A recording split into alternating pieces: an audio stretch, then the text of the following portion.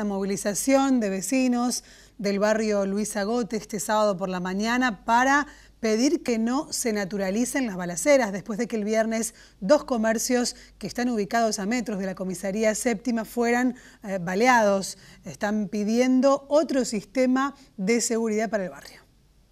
¿Qué ha pasado el viernes a la noche? ¿Cómo está el barrio? ¿Hay custodia policial? ¿Cuál es la situación?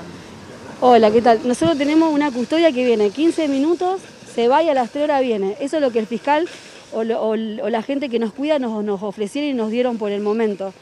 Eh, y después el barrio conmocionado, no se puede vivir así. Y esto ya no es la primera vez, ya es la segunda vez. La gente vive mal, vivimos mal, dormimos mal. No es vida vivir así. Tenemos un estado ausente. Nadie nos ayuda, nadie nos protege. O sea, yo me siento ahora sin casa y sin trabajo, porque si yo me tengo que ir de acá, que es la fuente que me da de comer, que, pago mis, impuestos y, mi, casa, estamos en bola horrible, horrible porque no, no, no, no sabemos qué hacer. Los locales siguientes, una chica se va, la otra chica se tiene que ir también y la última que se tiene que ir soy yo. ¿Y dónde voy? Con los locales amenazados, el viernes sufrieron una feroz balacera y tenés custodia de 15 minutos. De 15 minutos, es una ronda que supuestamente dicen ronda o algo así, de 15 minutos.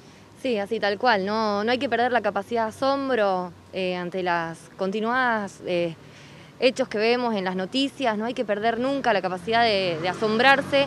Eh, eran las 6 de la tarde de un viernes, eh, hay una escuela a media cuadra, gracias a Dios no hay clases presenciales y no podría haber sido una desgracia. Un, vecino que venía de la librería eh, quedó en el medio de la balacera, tuvo que tirarse el cuerpo a tierra, a tierra esconderse detrás de un auto para que no le impacten las balas, a las 6 de la tarde de un viernes, en pleno calle Caferata. El mensaje es básicamente ese, no, no podemos acostumbrarnos a esto. Si nos acostumbramos a esto, eh, ¿qué es lo que viene después? ¿A qué otra cosa nos vamos a tener que acostumbrar más adelante? Melissa, el día después, el día sábado, decidieron con los vecinos poner un pasacalle que hoy ya no está. No, no está. Evidentemente la frase debe haber molestado, eh, pero bueno, no importa. No está la frase, pero eh, llegó a todos los vecinos porque se replicó absolutamente por todas las redes sociales de la vecinal y del barrio. no vamos a naturalizar lo que sucedió. Eh, no vamos a convivir entre balas, eh, queremos eh, que esto llegue a donde tenga que llegar, queremos que el gobernador, el ministro de Seguridad convoque a todos los sectores sociales y políticos para debatir un plan integral de seguridad. Esto no se va a terminar con más policías en la calle, que obviamente ayudan a la prevención.